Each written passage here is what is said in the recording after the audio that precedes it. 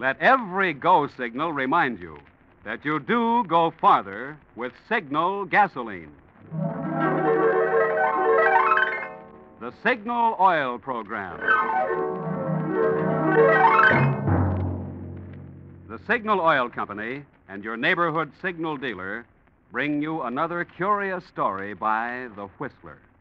Tonight, the doctor operates in crime.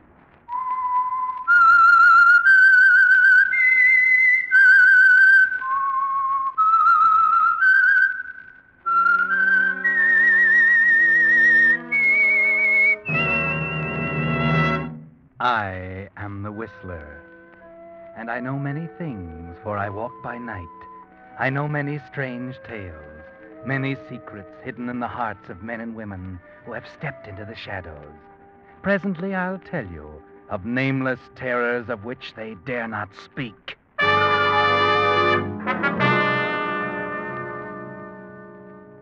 The Whistler will bring you his story in a moment.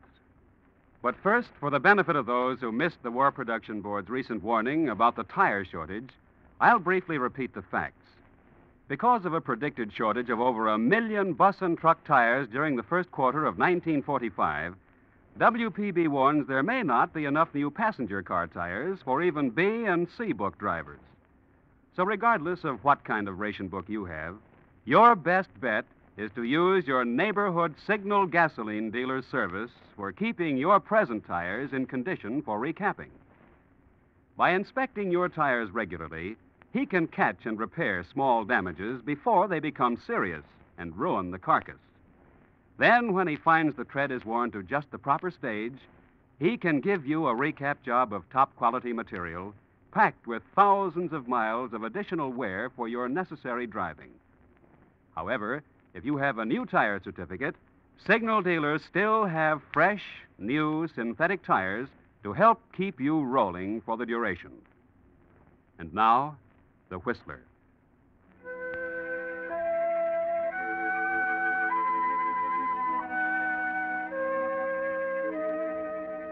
From the street, it looks innocent. Just a plain, ordinary two story dwelling. There's a sign over the entranceway. It says Dr. Julius J. Weber. Just that, nothing more. A dark, lean man, his coat buttoned tightly, his hat brim pulled low, turns into the entrance, pauses a moment, then pushes a button and opens the door. Uh, is this the doctor's office? Sign just said ring and come in. Can I help you? Hey, you're a cutie. What's your name? What did you want to see the doctor about? Well, uh, me. I want to see him about me. Your name, please. Make it anything you like. I'm afraid I must have your real name. Why? Perhaps you'd better see another doctor. Oh, no. Dr. J. Weber's the guy I want. I'm sorry. No, don't get on your high horse. Angelo's the name. Anthony Angelo. Anthony Angelo. Tony to you. I don't quite know when the doctor. Oh, no. no. Oh, excuse me. I did not. This is Mr. Anthony Angelo, Doctor. Hiya, Doc. How do you do? Have uh, I any more appointments this afternoon? No, this, This, is man. important, Doc. Angelo. Angelo. Seems to me I've heard the name before. Yeah. I've been getting lots of publicity, especially lately. That's why I want to see you. Come inside. Nurse, uh, bring along your book. Hey, this is confidential. You are at liberty to take your business elsewhere. Everybody's touchy around here. Okay, okay. Let her come along. Come in. You may sit here, please. That's it. Now, who recommended me to you? Guy by the name of James. So? Friend of yours? I wouldn't say that. Maybe he did me a good turn.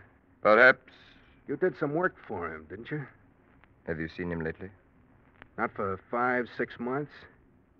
Then how did he manage to recommend me? Well, it wasn't personal. Grapevine gets around. Mm-hmm. What would you like me to do for you? I want the works. How badly? Pretty bad. I'm hot as a firecracker, and I don't think things will cool off this time. You want a complete job of plastic surgery, then? Huh? You're the doctor. Anything you say goes. I'm glad we understand each other. What kind of uh, face would you like? Huh? You mean I can pick my own? With certain limitations. I can change the color of your eyes and hair. I can change the contour of your face, reshape your nose, change the way you walk. Way I walk? I can take every birthmark or scar off your body and replace them with others as, well, well, other portions of your body. Permanent? Yes, permanently. I will extract every tooth in your mouth and replace them with plates. Well, what for? My choppers don't show. They're a positive means of identification. Yeah, that's right. Anything else? Yes, uh, your fingerprints. I will remove them. Huh? I will get you shoes which will increase your height and change your gait. Kind of thorough, ain't you, Doc? I have to be. Will you get the camera, nurse, please? Yes, Doctor. Camera, what for? I need various photographs of you for study before I operate. I don't want it. I must insist. I never had a picture of me taken yet. You're going to have one now. You're quite a one, Dr. Weber. How much is all this going to cost me? We can come to terms on that, I believe. And where's this operation going to be performed? In my surgery. You will spend about five weeks here in this house. Nurse, have you the camera? Yes, Doctor. Would you mind, Mr. Angelo? A few shots of your face, please. Then your hands, torso, feet. Okay, okay. Don't mind me. I'm only the patient.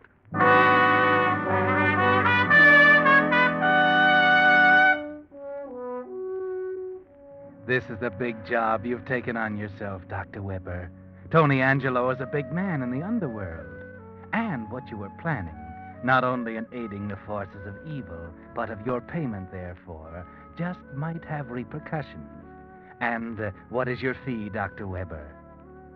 Five weeks have elapsed, and Tony is ready to go forth into the world newborn, uh, so to speak. And you haven't mentioned your fee yet. Better go easy. Tony Angelo is hard. He's tough. You think about that while you're unwrapping his bandages. Rather a fateful moment, isn't it, Tony? I'll take that, nurse. Mm, all right, Doctor. Thank you. There.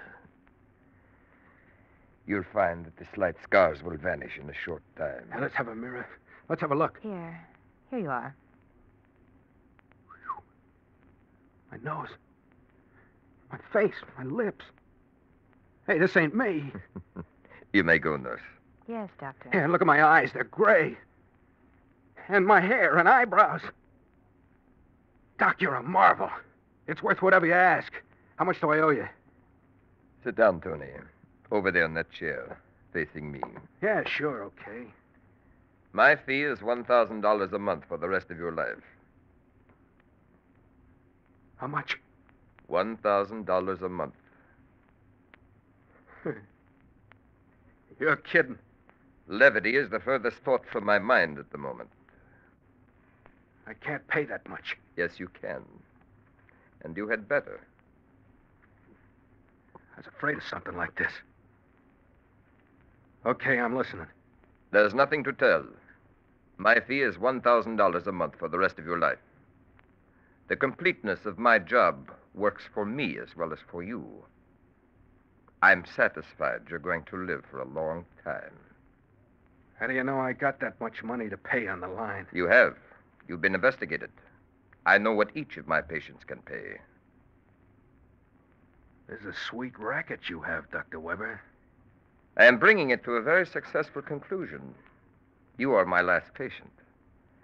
I am now assured of an income for the rest of my life, which will permit me to live in luxury. You mean with my thousand, you have enough? That's right. And if you have any ideas of not paying, forget them. Smarter men than you are paying right now. Maybe they forget easier.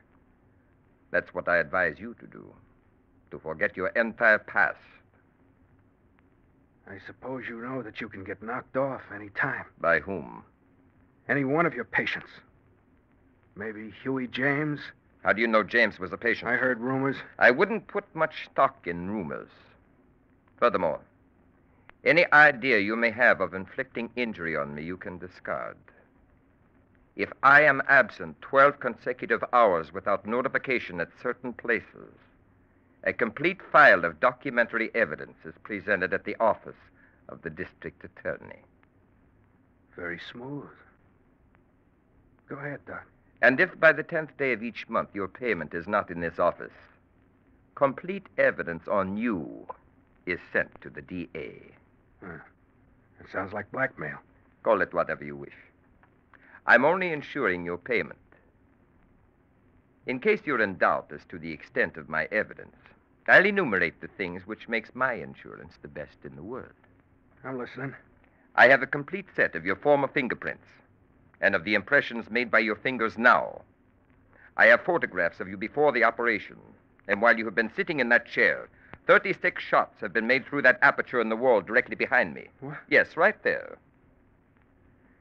So, Tony, get rid of any idea that my plan is not foolproof.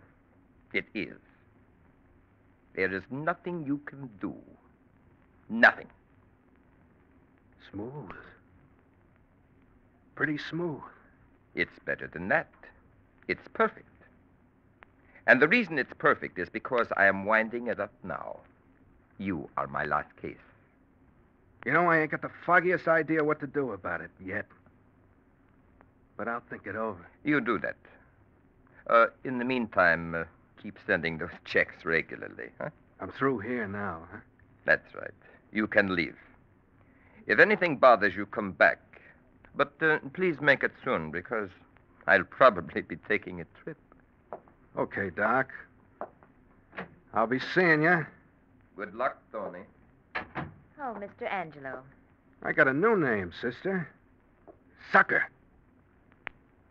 By the way, are you in with that guy's racket? Here is your wallet, Mr. Angelo. Will you let us know what name to use in place of Angelo?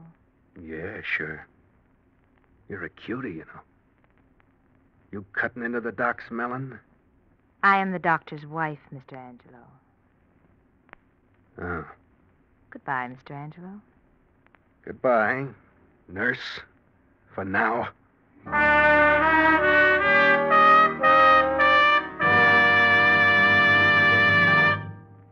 You were listening to The Whistler, brought to you by your friend, the Signal Oil Company, marketers of famous Signal gasoline, your best buy today.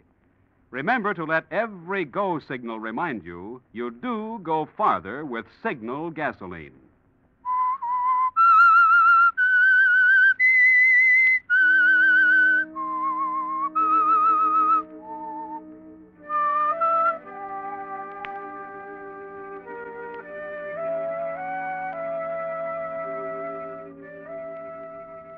Well, that's a neat little racket Dr. Weber has, isn't it, Tony?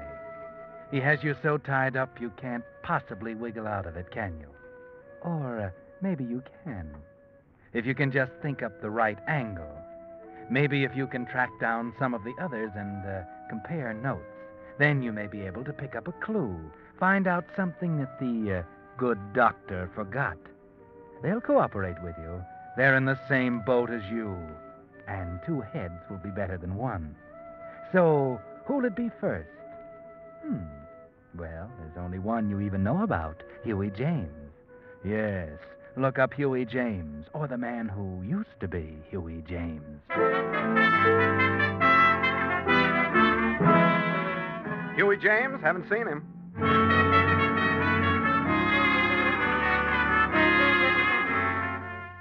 James, he hasn't been around here for months. Just disappeared, I guess.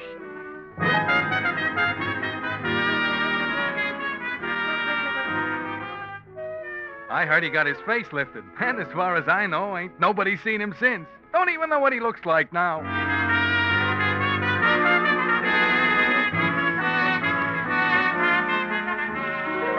Oh, yeah. Huey James. He's the guy who used to wear those English tweed suits and smoke those English cigarettes. Players, wasn't it? That's right. Do you know where he bought those cigarettes? I might be able to track him that way. Why, sure. The cigar store down the corner. Maybe he can tell you.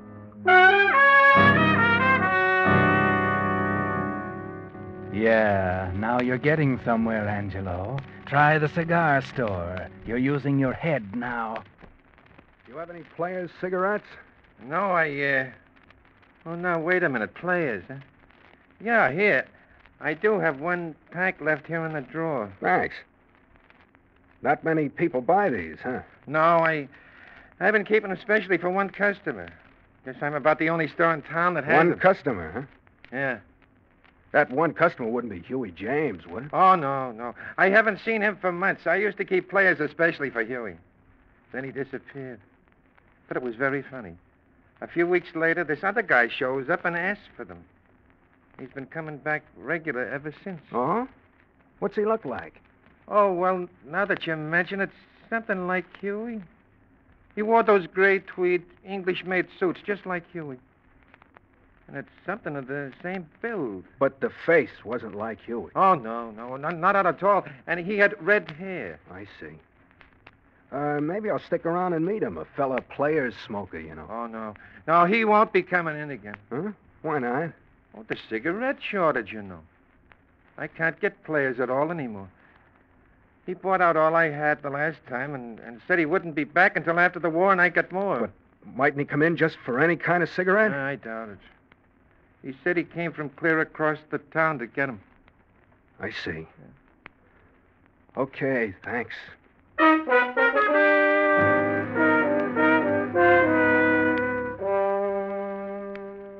Too bad, Angelo. Just when it seemed you were getting on the track, the trail ends. You found out that Huey now has red hair, if the player smoker is Huey. But where are you going to find one red haired man out of all those in this big city? You try everything you can think of, but the trail leads nowhere. And the date of your first payment to Dr. Weber is approaching fast. You've got to do something, figure something out. Forget Huey. Figure something else out. Figure something. Gotta figure it out. If I plug the doc, the evidence gets turned over to the cops. Wait a minute. Who turns it over to them?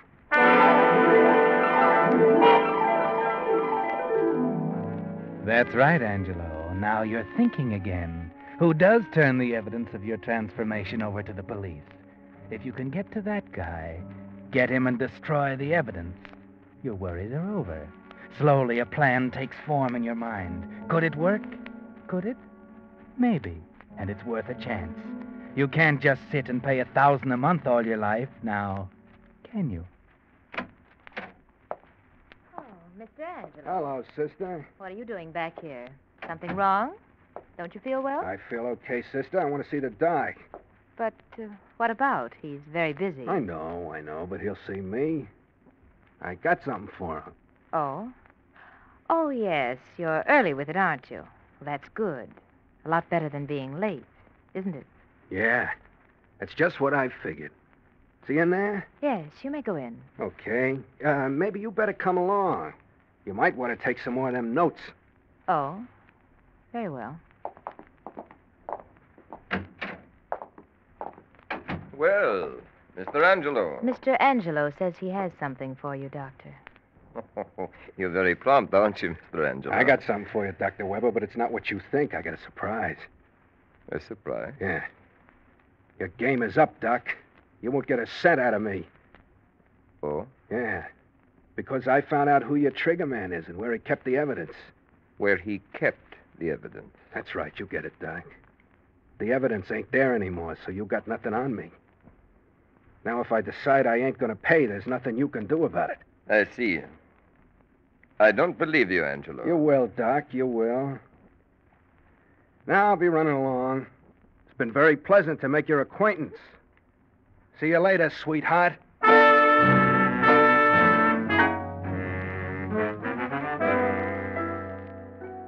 A smart trick, eh, Angelo? By the look on their faces, you figure you pulled it off, too. Now all you have to do is wait around across the street to see what happens. If they take the bait, one of them is sure to go see about that evidence, and they'll lead you right to it. And you don't have long to wait. It's only a few minutes before the doc comes out and hails a taxi. You're in one right behind him, and you tail him clear across town. You follow him into a swank looking apartment. It's easy. He's an amateur at this game, and you're an expert. You take the stairs, he takes the elevator, and you're ahead of him all the way. When he gets off at the fifth floor, you're standing in the stairwell watching. He knocks on a door, and while you're both waiting, you think how neatly your trick worked. He's led you right to the evidence. Then the door opens, and you get a shock. Yes. You get a shock because the man who opened the door to Weber wore a gray English tweed suit and had red hair.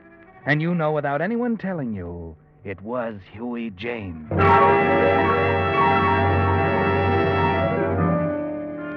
Your trick didn't work after all. He didn't lead you to the evidence, but he did lead you to your fellow victim, Huey James.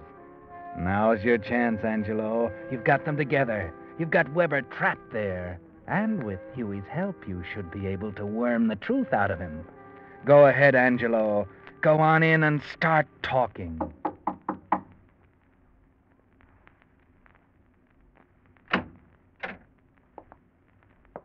What do you want? I see by your door plate you called Mr. Peterson. Yeah, what of it? I'm called Becker. I want to talk with you. I'm busy now. It's all right. You needn't worry, Huey. I'm okay. My name's not Huey. Yes, it is. It's not Peterson any more than mine's Becker. I got something to say you'll want to hear. Maybe Dr. Weber won't. Oh.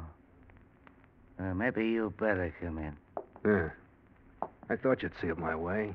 Thanks. Seems you two have met. Yes, we have. So your information was a trick to try to get me to give away my information, wasn't it, Angelo? Never mind about that. You did me a favor. I've been looking for this guy for weeks. Now that I found him, you're on your last legs, Doc. Angelo, I warn you. You're playing with fire. You can't scare me now, Doc. Once Huey and I get working together, we'll break up your racket, okay? Hey, what is this? Do you mind letting me in on what you're talking about? I'll tell you, Huey. You and I are in the same boat. This guy's blackmailing us for our shirt, his payment for the operations he gave us. Hmm. If we can get that evidence he's got cached away somewhere and destroy it, we're free. He's got nothing on us. And we can stop paying him his hush money. I see what you mean. Uh, you and me together, huh? That's it. We got him here right now. Let's make him talk. Make him tell us where that stuff is. We got ways to make him talk. You know that. Angelo, I'm warning There you. we are, Doc. Don't move. That gun won't help, Angelo. You're just going to write your own death warrant. Well, that's what you think. Yeah, and so do I. Drop it, Angelo. Hey, Huey. You aren't sticking up for him. Listen, don't let him buffalo you. Everything was going okay, punk, and I wanted to stay that way, see? No dumb punk is going to come shooting his mouth off and ruin everything for all of us, see? Now drop it, I said. Why, you yellow liver. Huey, stop it. Don't be a fool. Look out. Stop. Fool, you fool.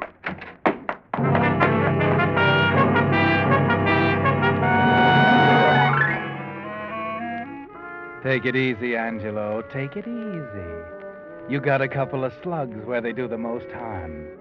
And there's Huey James lying over there. And you can tell from here he's dead. Your bullets did that. You're a fool, Angelo. You came here to get Huey on your side. Instead, you end up by shooting it out with him, bumping him off, and uh, maybe getting bumped off yourself. Better get out of here while you can still walk, before the cops come. Weber, the doc got away. Here's the door. Get out. Hurry! Hurry!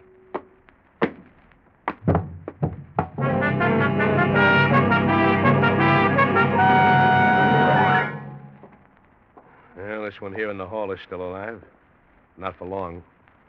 The other one's dead. Okay. Here's the guy we caught running out of the building. Take your hands off What's me. your name? I'm Julius Weber. I'm a doctor.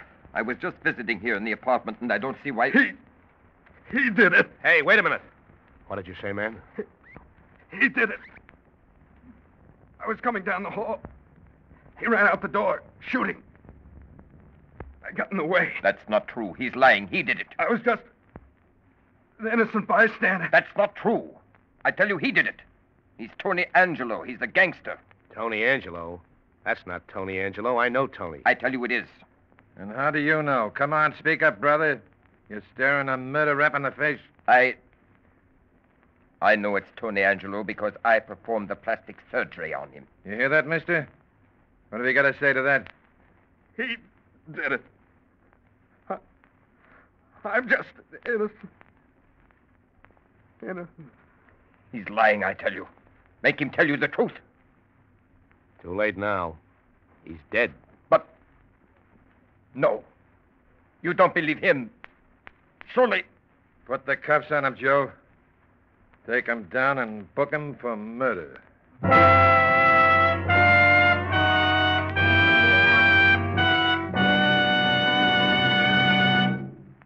The Whistler will return in just a moment with a strange ending of tonight's story. Meantime, let's consider for a moment the very important subject of how many miles you're getting per ration gallon of the gasoline you're using. Perhaps you're among the 98% of drivers who don't know the answer to that question. Then here's a point well worth remembering. For years, more and more Western drivers who keep close track of their gasoline mileage have been switching to Signal, the famous Go Farther gasoline. And what's more important, the switch to Signal has actually increased since gas rationing. And here's why. Although certain gasoline ingredients have gone to war, Signal standards of quality still guarantee you the very finest gasoline that can be made today. And Signal still places the emphasis on mileage. Naturally, no company today can promise you the same performance you found in pre war gasoline. And we can only hint at the brilliantly improved Signal gasoline you'll be able to buy after victory is won.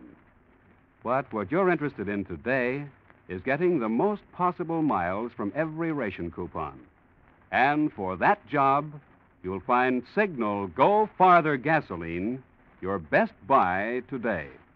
And now back to the Whistler.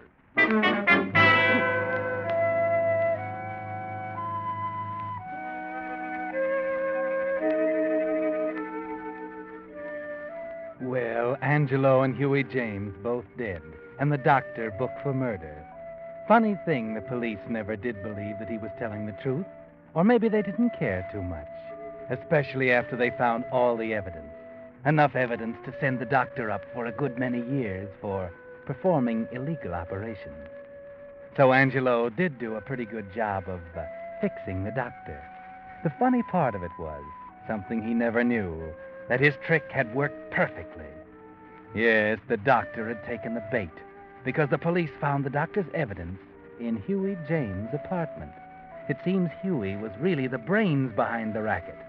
After he'd had his face remodeled by Dr. Weber, he'd uh, persuaded the doctor that they could run a nice racket, with Huey taking the lion's share of it.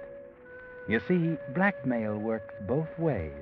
Huey has as much on the doctor as the doctor had on him.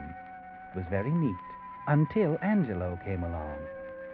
The moral of the story is, of course, that a doctor who operates in crime may expect to run his practice into the ground. Six feet into the ground.